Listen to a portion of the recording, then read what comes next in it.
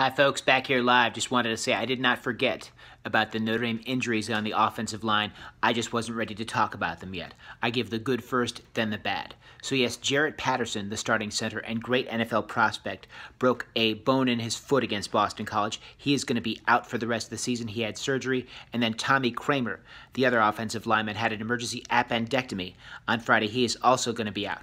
The replacements for these guys are Zeke Correll for Jarrett Patterson, and specifically Josh Lugg for Tommy Kraemer. Josh Lugg is 6'7, 310 pounds. He started five games last year, and he's played in six of eight sparingly this year for Notre Dame. So I look for the offensive line to struggle a little bit, but I think they'll find their synergy against North Carolina.